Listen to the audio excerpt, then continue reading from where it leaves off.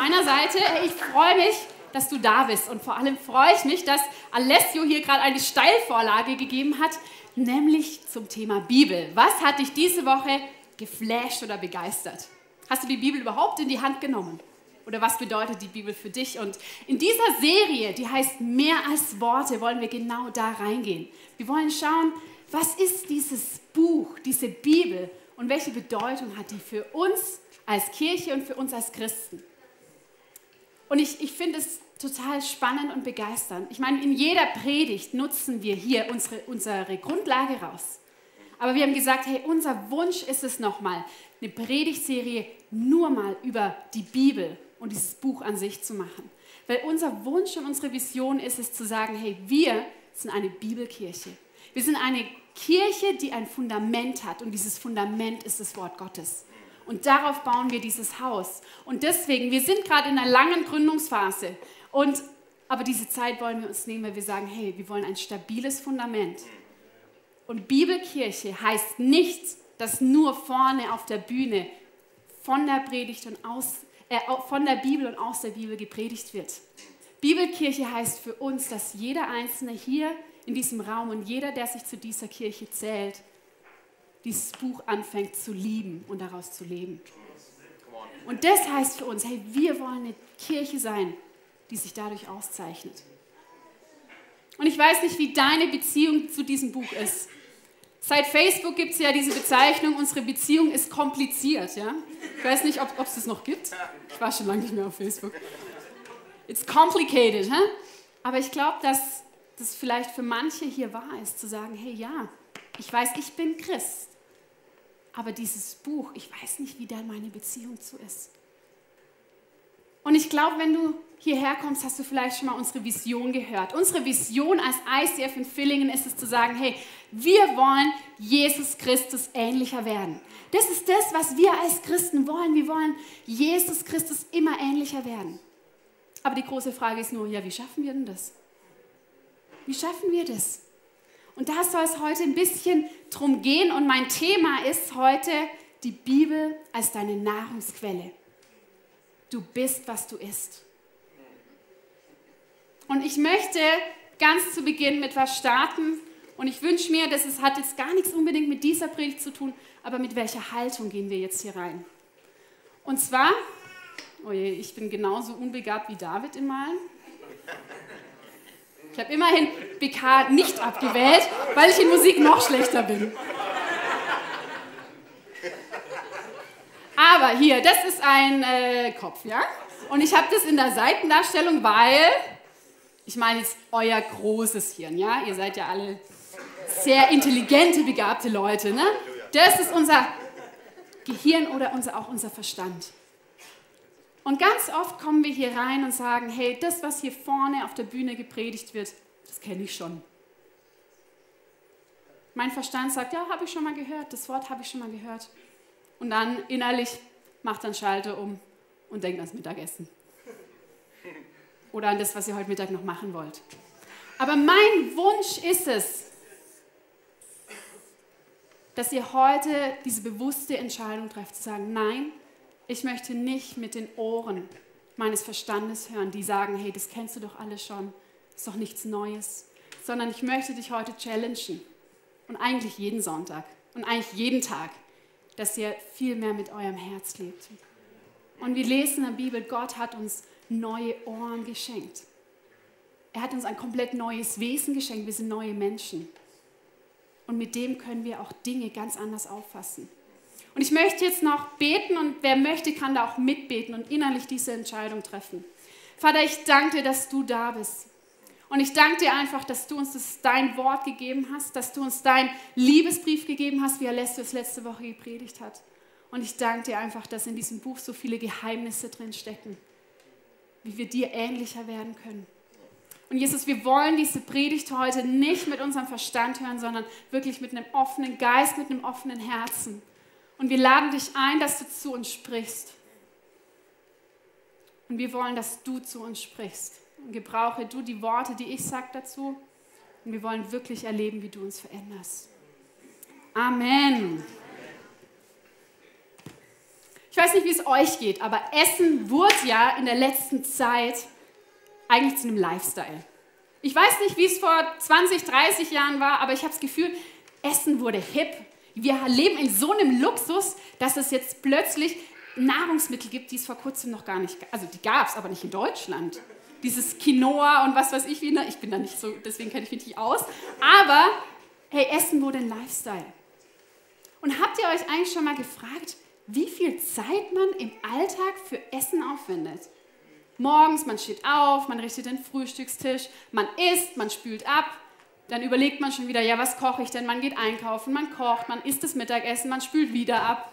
Das gleiche mit dem Kaffee, wenn man es macht, und dann Abendessen. Hey Leute, wie viele Stunden sind das am Tag? Und mir geht es manchmal so, mich nervt es eher, wo ich denke, warum hat Gott uns nicht so geschaffen, dass wir einfach nicht essen müssen? Oder vielleicht nur einmal am Tag oder einmal die Woche oder vielleicht einmal im Leben und dann haben wir die Energiequelle für unser restliches Leben. Aber ich glaube, Leute, Gott hat sich dabei was gedacht. Gott hat sich dabei was gedacht, dass wir regelmäßig essen müssen. Dass wir hier dreimal am Tag essen. Weil er hat gesagt, hey, Nahrung, Essen ist ein Sinnbild für das Geistliche. Vieles hier auf der Erde ist ein Sinnbild für das, was eigentlich Gott sich gedacht hat. Und hat es uns gegeben, damit wir ihn besser verstehen. Und jetzt sagt sie, können, kann sie das sagen? Ja, es ist auch so mit Ehe, es ist auch so mit Familie, es ist auch so mit Kindern. Das sind alles Dinge, die Gott uns gegeben hat, damit wir das Geistliche dahinter verstehen.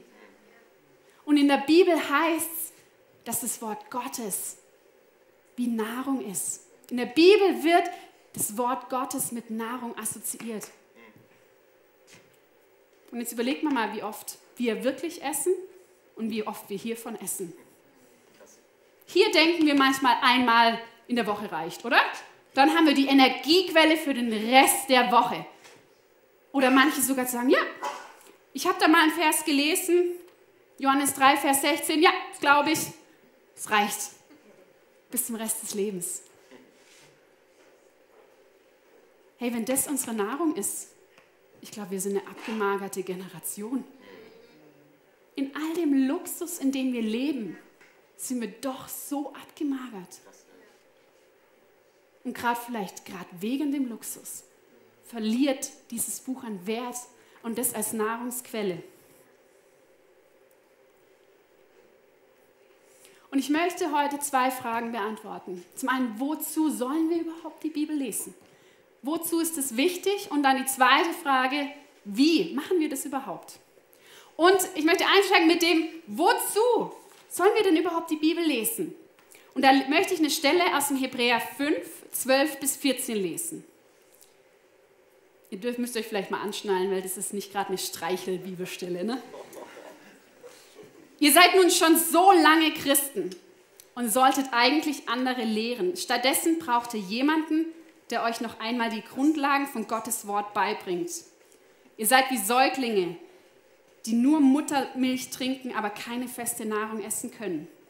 Ein Mensch aber, der sich von Milch ernährt, ist im Leben noch nicht sehr weit fortgeschritten und versteht nicht viel davon, was es heißt, das Richtige nach Gottes Wort zu tun. Feste Nahrung dagegen ist für die Menschen, die erwachsen und reif sind, die aufgrund ihrer Erfahrungen gelernt haben, zwischen Gut und Böse zu unterscheiden. Das sind harte Worte, oder? Hier im Hebräerbrief. Und ich weiß nicht, wie du dich jetzt angesprochen fühlst, aber ich fühle mich manchmal schon sehr angesprochen, wo ich denke, hey, wie weit sind wir im Glauben? In der Bibel heißt es, wenn wir unser Leben Jesus gegeben haben, wenn wir unsere Sünden bekannt haben, wenn wir getauft worden sind, wenn wir den Heiligen Geist empfangen haben, dann sind wir wiedergeboren. Und dann fängt jeder an, egal wie alt, als ein Säugling.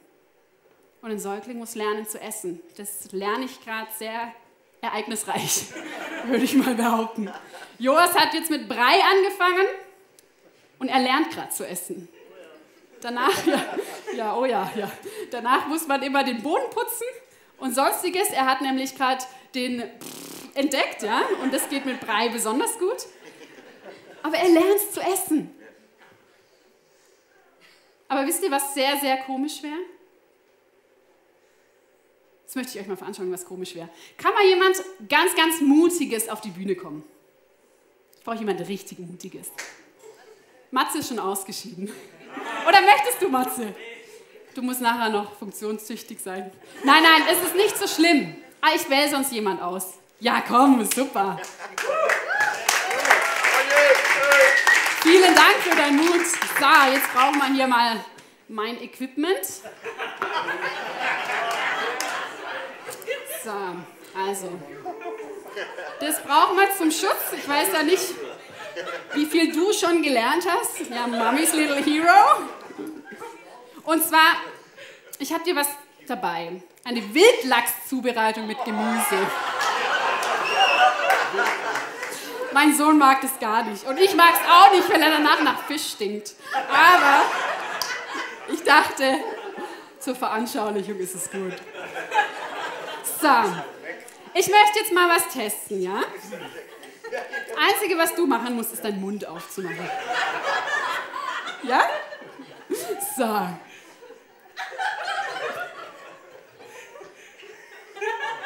Ja? Bisschen Lachs? Fahrt, ja, das stimmt. Die dürfen noch kein Salz essen. Noch einen, ha? Ja? Super, das reicht. Ja. Ist ein bisschen ein komisches Bild, oder? Aber genau das lesen wir im Hebräer. Und ich weiß nicht, wie es uns sonntags geht. Ist im Geistlichen das, was, was wir gerade gemacht haben, ist es das, was vielleicht hier passiert? Dass der Prediger vorne steht und sagt, ha, schau mal, ich habe euch was zubereitet, schön püriert. Die harten Sachen habe ich noch ein bisschen weggelassen. Das Salz auch, das, das Scharfe auch, damit es einfach gut bekömmlich ist. Und dann wird man gefüttert. Hey, so ist es doch oft, oder? Und dann, wenn der Pastor vielleicht mal was gepredigt hat, was einem nicht passt, denkt man, oh, ich verhungere. Was ist das für eine Kirche? Ich muss woanders hin. Vielleicht hat eine andere Kirche ein besseres Essen. Aber so läuft es doch oft, oder? Und das Problem ist, wir haben verlernt, selber zu essen. Beziehungsweise wir haben es noch nicht mal gelernt. Hey, und unser Wunsch ist es zutiefst, dass wir hier nicht sonntags dastehen und sagen, hier ein Löffel, hier ein Löffel, einer Lachs, der andere Karotte. Nee, unser Wunsch ist es, dass Leute eigenständig essen. Jugendlichen bereitest du vielleicht noch das Essen zu, bisschen älteren Kindern. Da kann man feste Nahrung geben. Aber bei Erwachsenen, die müssen erstmal ihr Geld selber verdienen, dann müssen sie einkaufen gehen und dann müssen sie es noch selber kochen. Aber Leute, das ist das, was wir mit der Bibel machen sollen. Ich habe vorhin gesagt, die Bibel wird oft assoziiert mit Nahrung. Wahrscheinlich haben jetzt 99 Prozent im Raum das einfach so abgenickt und gesagt, ja. Aber wer hat tatsächlich da mal eine Wortstudie drüber gemacht? Wer hat mal geschaut, wo ist denn das so? Welche Bedeutung hat Nahrung oder welche Bedeutung hat Brot überhaupt in der Bibel? Das ist total spannend. Angefangen vom Manna im Alten Testament, dann mit den Schaubroten, dann also es gibt so viele spannende Stellen. Die Brotvermehrung, was bedeutet das geistlich? Hat sich da jemand schon mal reingekniet und gesagt, ich bereite mir selber eine Mahlzeit zu? Und das ist auch ein bisschen das, was wir hier wollen. Wir wollen keine Konsumenten und keine Babys. Doch, wir wollen Babys, aber sie dürfen nur ein Jahr ein Baby bleiben. Es ist total normal und gut, dass ich Joas fütter. Aber es wird eine Zeit, dass er lernt, selber zu essen. Und so ist es auch. Lass uns lernen, selber zu essen und lass uns anderen beibringen, selber zu essen. Und David und ich sind jetzt fünf Wochen weg im Elternzeit. Davon sind wir vier Wochen in den USA. Aber auch da haben wir ganz oft gemerkt, auch unter anderen Pastoren, viele haben Angst, so lange wegzubleiben. Weil sie müssen ja ihre Babys füttern. Was ist, wenn die Gemeinde in diesen fünf Wochen verhungert? Ja, und ich muss zugeben, auch wir haben gesagt, boah, sollen wir so lange wegbleiben? Aber ja, ich glaube, das ist genau richtig.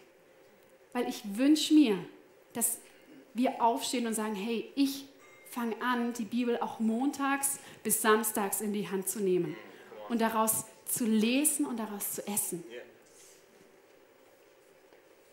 Und ich habe noch mal eine Stelle aus dem 1. Petrus 2, Vers 2, wo es heißt, genauso wie ein neugeborenes Kind auf Muttermilch begierig ist, sollt ihr auf Gottes Wort begierig sein, auf diese unverfälschte Milch, durch die ihr heranwachst, bis das Ziel, eure endgültige Rettung erreicht ist.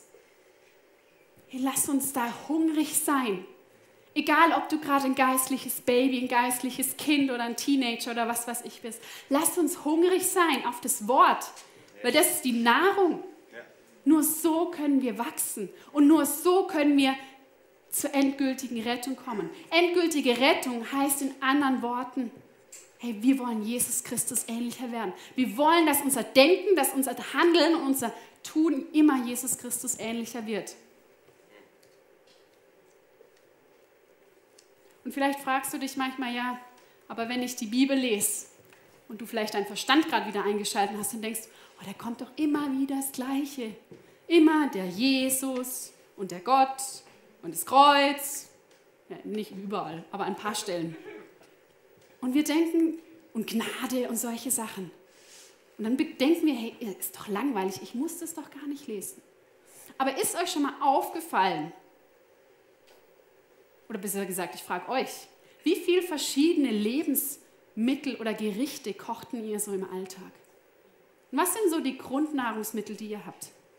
Also bei uns, so im Haushalt, sind es Reis, Nudeln, Kartoffeln, Döner, ja, stimmt. Aber dann hört es schon auf, das sind so die Grundnahrungsmittel. Und dann richte ich die zwar unterschiedlich an und nehme mal das dazu und mal das Gewürz, aber so ist es doch auch in der Bibel. Wir haben ein, ein bestimmtes, ein bestimmte Grundnahrungsmittel. Aber ist jemand von euch schon langweilig geworden nach 50 Jahren Essen und sagt, nö, Kartoffeln, Reis und Nudeln esse ich nicht mehr? Nee, wir essen das alle noch und wir brauchen es alle noch. Aber spannend ist, wie würzen wir es? Dann können wir mal die Bibelstelle dazu nehmen. Vielleicht aus dem Blickwinkel mal betrachten. Aber es ist alles die Einheit. Und jetzt die Frage, ja, wie lese ich denn die Bibel? Wir wissen jetzt, wozu wir sollen wachsen, wir sollen reif werden, wir brauchen es als Nahrung. Aber wie lese ich die Bibel? Und ich weiß nicht, wie es dir geht, aber manchmal schlage ich die Bibel auf und lese Stellen, wo es heißt, ja, ihr sollt eure Feinde lieben, ihr sollt großzügig sein, ihr sollt tadellos sein. Die Liebe ist langmütig, bla bla, diese Dinge. Hä? Und ich bin dann aber jemand, ich bin ein Mensch, der will ja. Ich will ja ein guter Christ sein. Ne? Dann schreibe ich mir die Punkte raus und sehe, ja, hier, ich soll tadellos sein. Welche Unterpunkte sind genannt? Mach mir eine To-Do-Liste und versuche umzusetzen. Weil ich mag To-Do-Listen. Und noch viel lieber mag ich ein Häkchen dran zu setzen, wenn ich es geschafft habe. Aber das Problem ist, dass ich spätestens ein paar Stunden später merke, huh, so leicht ist gar nicht, da ein Häkchen dahinter zu setzen. Geduldig zu sein, liebevoll zu sein. Und ich möchte das mal veranschaulichen an einer Bibelstelle, und zwar in Philippa 2, 14 bis 15. Da heißt es, tut alles ohne Murren und Zweifeln, damit ihr tadellos und lauter seid. Also lauter heißt ein bisschen vorbildlich, das ist Elberfelder Übersetzung. Seid unbescholtene Kinder Gottes inmitten eines verdrehten und verkehrten Geschlechts, unter dem ihr leuchtet wie Himmelslichter in der Welt. Oft lese ich daraus, okay, was soll ich sein? Ich soll tadellos und vorbildlich sein, ja? Bei mir irgendwie springen so Sachen dann immer an, ja, was soll ich denn jetzt tun? Und dann merkt man über die Laufe der Jahre, dass viele merken, boah, Christsein ist doch irgendwie anstrengend. Viele verlieren die Lust dann am Bibellesen und merken, boah, das schafft man ja gar nicht. Und ich glaube, es ist auch in vielen Kirchen so. In vielen Kirchen ist es so, dass man Dinge tun sollte, ne? Und ich möchte heute euch ein provokantes Statement mitgeben. Aber ich glaube, dass wir das manchmal brauchen. Und es heißt, setze nicht selbst um, was in der Bibel steht. Kann man das hier von der Bühne sagen? Setze nicht um, was in der Bibel steht. Hilfe! Normalerweise predigen wir doch genau das. Tu das, mach das, was in der Bibel steht. Das ist doch das Wort Gottes. Kann ich das so sagen? Wir wollen doch nur gute Christen sein, indem wir das tun. Aber ich möchte euch nochmal sagen, setzen nicht selbst um, was in der Bibel steht. Weil wenn wir das umsetzen wollen, dann fangen wir hier an. Und wir setzen da an, was lebe ich schon, was fehlt mir noch, okay, das gehe ich an. Und fangen an, aus eigener Kraft Dinge zu tun. Und wisst ihr, was das ist? Letztendlich wollen wir uns dadurch selbst retten und selbst erlösen.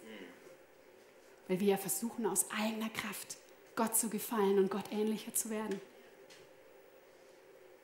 Und wir, wir machen es unter dem Deckmantel, ich will doch ein guter Christ sein. Aber ich glaube manchmal, dass das, was wir hier als gut bezeichnen, Gott gar nicht als gut bezeichnet. Sondern er sagt, hey, ich möchte genau, dass ihr erkennt, dass ihr es nicht umsetzen könnt. Er möchte uns an diesem Punkt haben, weil es auch gar nicht geht von diesem Punkt aus. Überlegt mal, wie ist denn das mit Essen?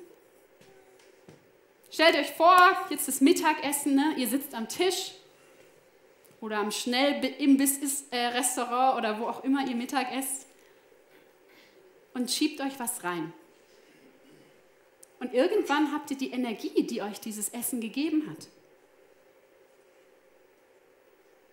Aber hat irgendjemand von euch schon mal Moleküle gespalten und das Essen umgewandelt in Fette oder die Fette in was brauchbar? Ich kenne mich da nicht aus. Aber hat jemand von euch den Stoffwechsel mal selbst gemacht? Das die Energie dann in die Blutbahn gebracht und es dann in Energie umgewandelt?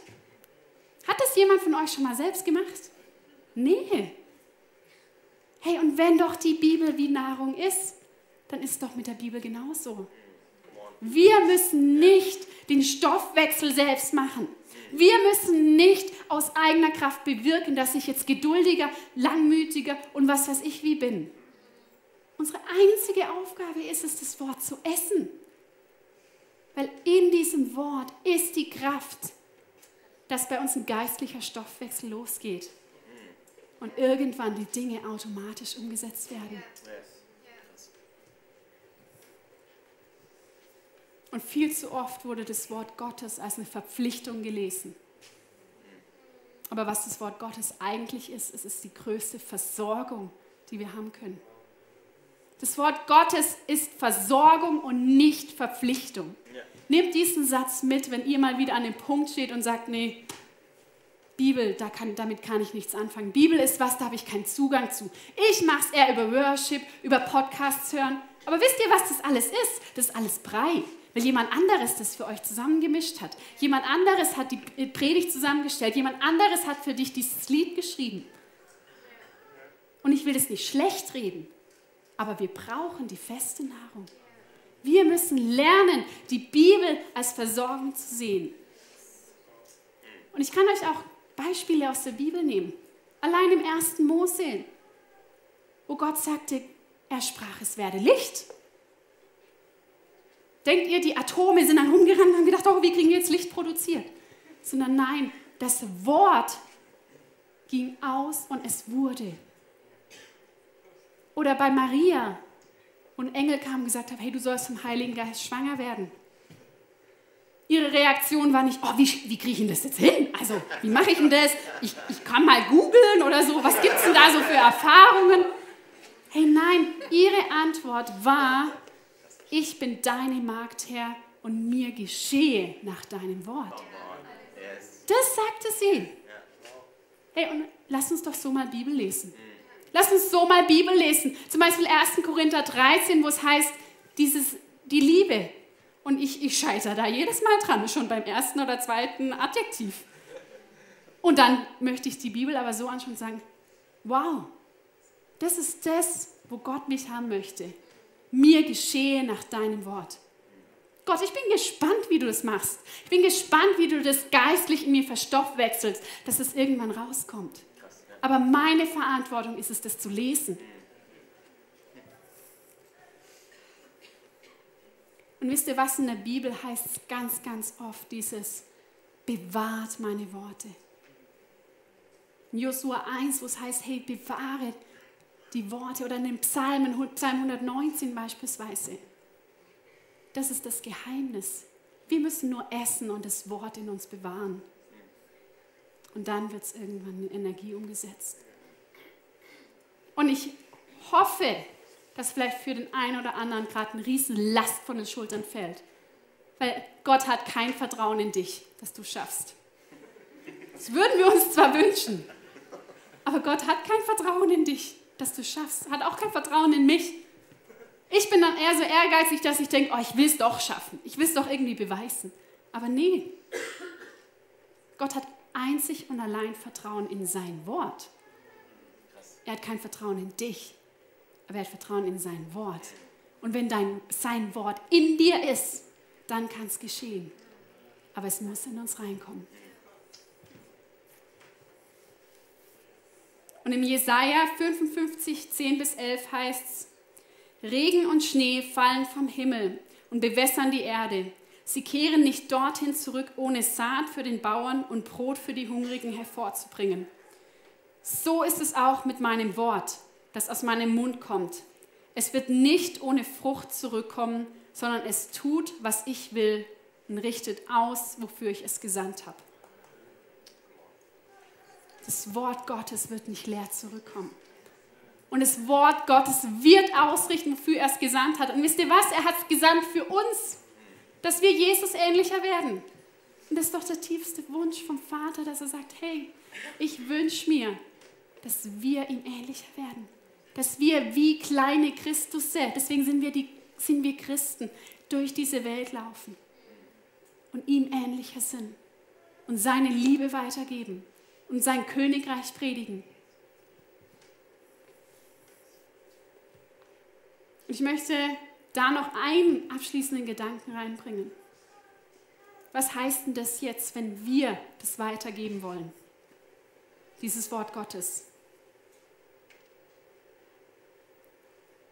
Ganz oft passiert es so, dass wir sagen, hey, das steht in der Bibel, so sollst du leben. Und das ist oft das, was Leute ja auch vom Christsein abschreckt. Christsein ist für viele einfach nur ein, wie viele Seiten hat es? 1500 Seiten langer Pflichtenkatalog. Weil wir den Leuten immer nur sagen, hey, das steht da drin. Aber Leute, unser Ziel ist es nicht, das, das zu machen, sondern unser Ziel ist es, den Leuten Essen beizubringen einzige Aufgabe, die wir als Christen haben und die einzige Aufgabe, die wir auch als Kirche haben, ist zu sagen, hey, wir ziehen euch zum Wort Gottes. Wir wollen euch dahin ziehen, weil das Wort wird in dir bewirken und wird in mir bewirken. Wir wollen nicht gesetzlich und religiös werden. Wie gesagt, es sind nicht wir, die es tun können und es ist auch keine Regel oder kein Gesetz, das tun kann sondern es ist das Wort in uns, das das Wollen und Tun vollbringt. Und ich habe vorhin diese Bibelstelle gelesen aus dem Philippa 2, wo es doch heißt, man soll untadelig und vorbildlich sein. Und jetzt, um den Bogen zu spannen, ich habe halt vergessen, den Kontext zu lesen. Ich habe hier den Vers nochmal mit dem Satz davor und dem Satz danach.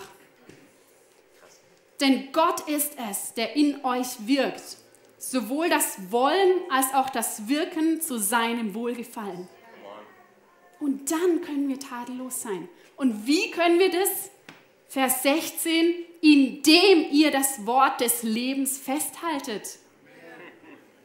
Da steht nicht drum, mach eine To-Do-Liste und versuch es aus eigener Kraft. Nein, ihr macht es allein, allein indem ihr das Wort festhaltet.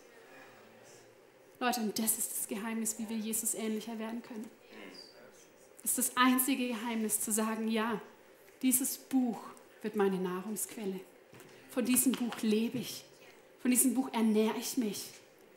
Und dann bin ich gespannt, wie das in mir verstoffwechselt wird und in Energie umgewandelt wird. Und ich am Ende rauskomme und sage, ich werde Jesus ähnlicher. Leute, und deswegen ist es wichtig, dass dieses Buch nicht verstaubt in euren Regalen, Es ist wichtig, dass dieses Buch wieder rausgeholt wird. Und keine Predigt und kein Gottesdienst kann ersetzen, dass ihr selbst da drin lest. Und ich möchte es wirklich auch eindringlich sagen. Wir schaffen es vielleicht gerade so über, zu überleben, aber wir sind vielleicht komplett abgemagert geistlich. Aber mein Wunsch ist es doch, dass wir siegreich leben als Christen, dass wir leben und was verändern, dass wir rausgehen, die Stadt verändern, dass wir Gutes tun. Und da kann ich nicht nur von zwei Versen am Tag leben. Da wäre ich völlig unterernährt. Das ist die Basis. Das ist die Basis für unsere Vision auch als Kirche hier im ICF. Und das ist die Basis für dein Christsein. Und das Spannende ist, wenn wir die Wortstudie weitermachen. Ich möchte dich einladen, das auch zu tun und das Wort Brot anschauen. Dann sehen wir im Neuen Testament, dass Jesus sagt, ich bin das Brot der Welt. Ich bin das Brot des Lebens. Und in Johannes 1 lesen wir, im Anfang war das Wort und das Wort war bei Gott. Und Gott war das Wort. Dasselbe war im Anfang bei Gott. Alle Dinge sind durch dasselbe gemacht. Ohne, ohne dasselbe ist nichts gemacht, was gemacht ist. Das ist ein recht komplexer Einstieg ins Johannesevangelium. Aber worum es hier geht, ist Jesus. Am Anfang war das Wort.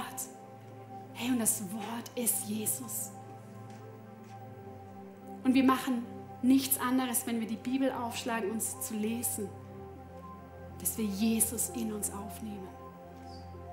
Das heißt zu sagen, hey, ich ernähre mich vom Wort Gottes. Ich lasse Jesus in mir groß werden. Und Leute, wie wollen wir Jesus ähnlicher werden, wenn wir es nicht aufnehmen?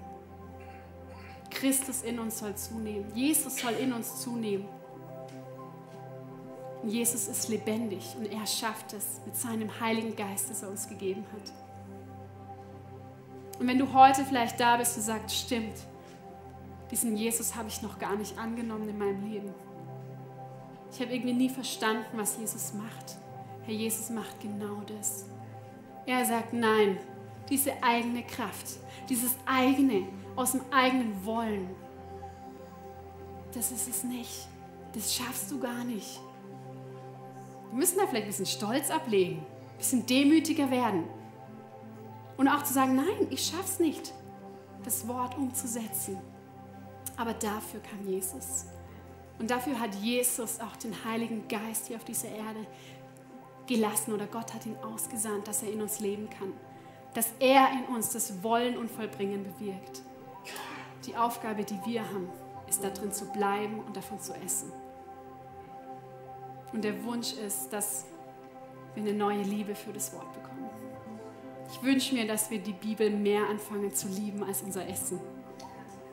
Und ich wünsche mir, dass wenn wir mal einen Tag ohne Bibel waren, dass unser Magen so knurrt, als wenn wir einen Tag nicht gegessen hätten. Und vielleicht ist es bei euch am Anfang so, dass ihr sagt, boah, ich kann gar nicht so viel aufnehmen. Ja, das ist, weil unser Magen so geschrumpft ist, weil wir es nicht gewohnt sind, das Wort Gottes aufzunehmen. Dann lasst uns Schritt für Schritt mehr essen. Lasst uns mehr aufnehmen und geistlich reif werden. Und ich weiß, dass Gott es bewirken wird. Ich habe da kein Vertrauen in mich oder in dich, aber ich habe das Vertrauen in Gott.